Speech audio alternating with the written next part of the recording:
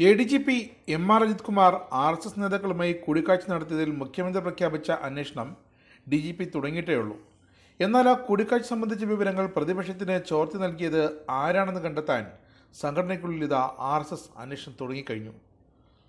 General secretary Dattatreya Hosabale മുതിർന്ന നേതാവ് റാം മാധവ് തുടങ്ങിയ നേതാക്കളെ അജിത് കുമാർ സന്ദർശിച്ച വിവരങ്ങൾ പ്രതിപക്ഷ നേതാവ് വി ഡി സതീഷിന് തീയതി അടക്കം കൃത്യമായി ചോർത്ത് നൽകിയത് ആരാണെന്ന് അന്വേഷിക്കാനാണ് ആർ എസ് എസിന്റെ ഇപ്പോഴത്തെ തീരുമാനം. എന്തായാലും സംഘടനയ്ക്കുള്ളിൽ നിന്ന് തന്നെയാണ് ഈ വാർത്ത ചോർന്നതെന്ന് ആർ എസ് എസിന് വ്യക്തമായിട്ടുണ്ട്.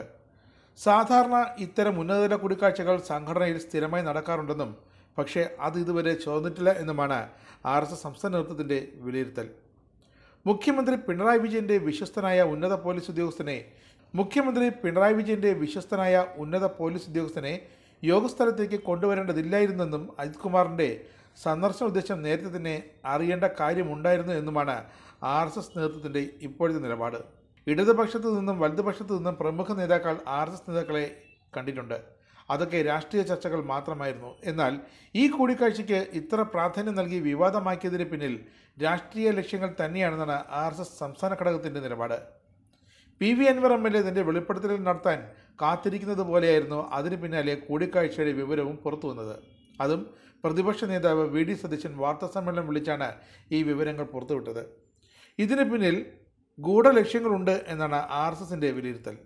രണ്ടായിരത്തി ഇരുപത്തി മൂന്ന് മെയ്യിൽ തൃശ്ശൂരിൽ നടന്ന സംഘടനാ സമ്മേളനത്തിനിടെയാണ് ദത്തത്രയ ഹൊസബാളയെ അജിത് കുമാർ കണ്ടത്.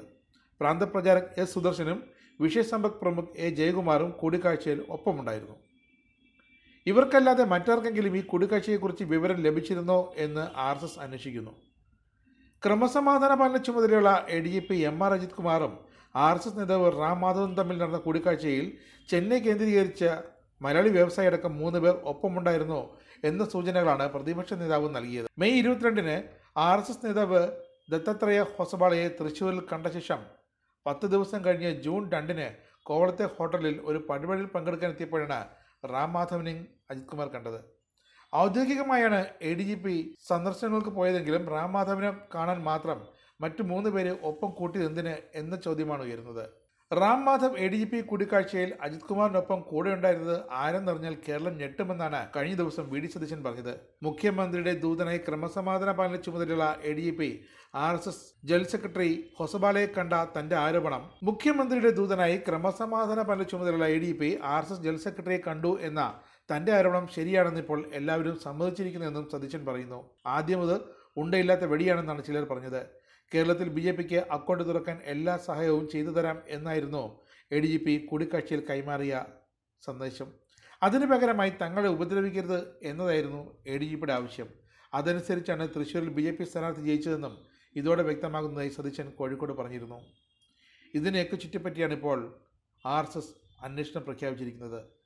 ഇതിനൊപ്പം എ ഡി ജി പിയുടെ സന്ദർശനം സംബന്ധിച്ച വിവരങ്ങളെ സംബന്ധിച്ചും സംസ്ഥാന പോലീസ് മേധാവിയും അന്വേഷിക്കുന്നുണ്ട്.